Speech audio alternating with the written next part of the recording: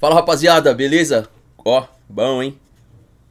Bom, viu? Bom, bom, bom. Mas ó, eu sei que vai ter muito comentário aqui e tem que ser feito esses comentários, tá? Deixar claro que tem que zoar. Com o meme do avião e etc. A chance do Pedro vir pro Palmeiras é. A gente sabe qual é a chance, mas assim, é, eu acho que tem que.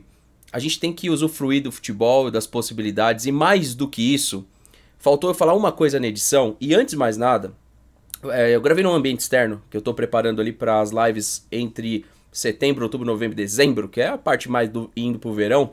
Então a gente vai ter umas lives ali com ambiente aberto, tá? Então não tá pronto aquele ambiente ali que você vai ver, mas queria que você pudesse dar sugestões do que você quer ver, tá? Então assim, sair um pouquinho do estúdio, fazer um ambiente mais aberto, a gente vai colocar algo nesse sentido também, tá? Então, coloca suas opiniões, lembra, tá bem cru ali, você vai perceber no vídeo. Mas esqueci de falar uma coisa durante a gravação do vídeo. Eu acho que o medo do dirigente é o reflexo do medo do torcedor. E eu vou ser bem frio no que eu vou falar agora. Eu não tenho receio nenhum do Veiga jogar no Corinthians, ele disse que não quer jogar, mas eu não tenho receio. Não tenho receio nenhum do Rony jogar no Cruzeiro e por aí vai, tá? Tem um cara que eu falo, pô, esse cara aqui eu gostaria que jogasse no Palmeiras para sempre. Gustavo Gomes, mano. Gustavo Gomes, eu acho que ele ultrapassou os limites da regularidade no meu ponto de vista. Lembrando, ponto de vista, ele é particular. Então, para você que tá chegando no vídeo, não esquece de deixar aquele like, se inscrever no canal, ativar o sininho. Aí, Pedro. E Pedro? Hã? Hã? Palmeiras? Tem aquela música que não é Ai, Ai Pedro, mas podia ser. Eu acho o Pedro um cara extra série, cara. Eu acho o Pedro centroavante é o melhor disparado aqui no Brasil, não tem discussão. E aí, dentro dessas possibilidades, vamos discutir um pouco a respeito do Pedro e que se caso fechasse com o Corinthians, como algumas notícias ali meio duvidosas, tá ligado? Que querem chamar mais atenção para um programa que tá com pouca audiência no meu ponto de vista, estão tratando, aí você fecha o Palmeiras, não é mesmo?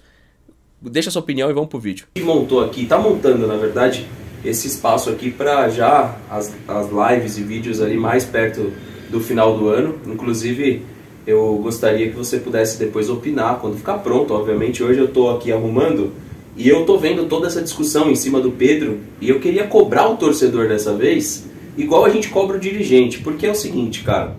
O Pedro não foi treinar, todo mundo viu. E longe de mim querer fazer esse vídeo aqui para especular o Pedro no Palmeiras, porque a gente sabe a diretoria que a gente tem. É muito mais fácil realmente ele vestir a camisa do Corinthians do que a do Palmeiras. Mas assim, o jogador é, não, não quer mais é, ser treinado pelo São Paulo. O São Paulo, e até tem canais tradicionais do Flamengo, como o Fernando Gil, preferem o Pedro ao técnico, e eu acho que no lugar do Fernando Gil eu, eu faria a mesma coisa. Mas eu vejo que tem muita, muito torcedor que não admite. Exemplo, tá? O Dudu jogar no Flamengo, o Pedro jogar no Palmeiras. É um outro exemplo, o Fagner no São Paulo, o Caleri no Corinthians. E eu acho que quem perde com essa, esse não draft ou essas, essa falta de transferências interna é o próprio futebol brasileiro. No caso do Pedro em específico, a gente já falou desse assunto várias vezes aqui.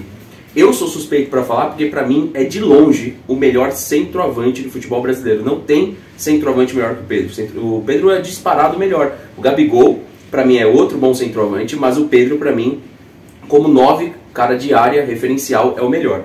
E eu fico às vezes pensando, né, cara? Eu falo, cara, imagina o Pedro no Palmeiras, a quantidade de gols que ele não faria, sendo que o Rony fez muito gol, não sendo um centroavante.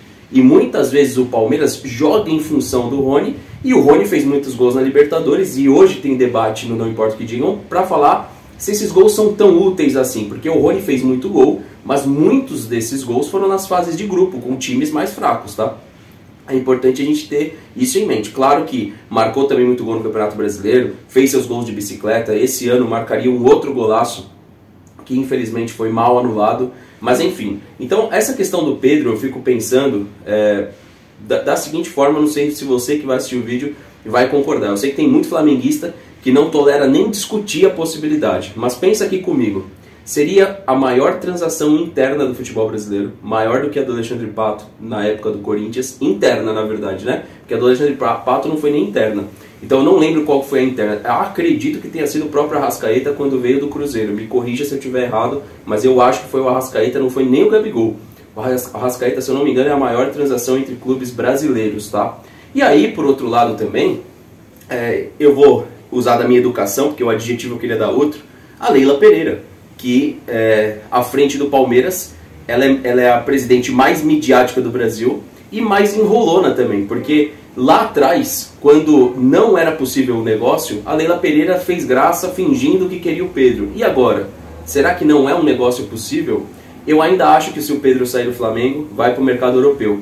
Hoje começou umas especulações que é nítido que é de um programa que está querendo audiência, porque só eles trouxeram a informação. Não acredito na informação, pode ser que eu esteja errado, mas eu acho que é so somente um desespero por audiência pensar o Pedro no Corinthians, que pode fazer uma final contra o próprio Flamengo na Copa do Brasil. Claro que o Pedro aí não jogaria.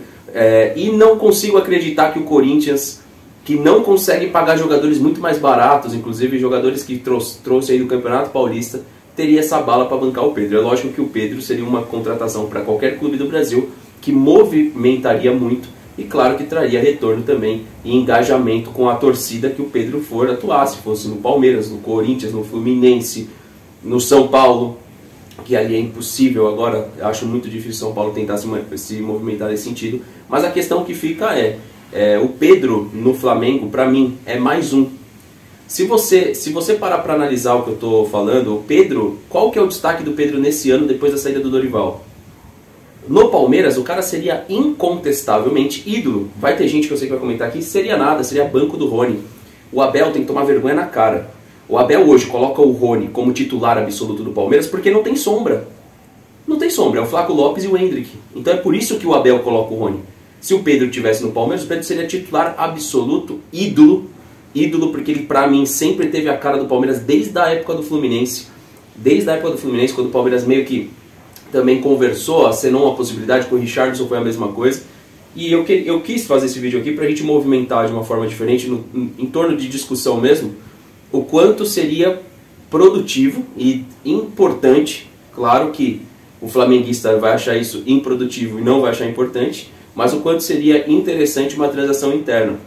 E agora, se, se essa especulação do Corinthians for verdade, fecha as portas do Palmeiras, porque, mano, não tem como hoje o Palmeiras perder economicamente pro Corinthians numa contratação. Não tô nem falando que o Palmeiras tá afim do Pedro, mas numa, numa hipótese que lá atrás a gente realmente esteve afim. E se o Corinthians hoje levar o Pedro, fecha as portas da academia de futebol, porque já não dá mais para entender mais absolutamente nada. Deixe seu comentário aqui embaixo, comenta, compartilha o vídeo se você achar interessante. Não esquece de deixar seu like que ajuda aqui no canal. Tamo junto, valeu e até a próxima.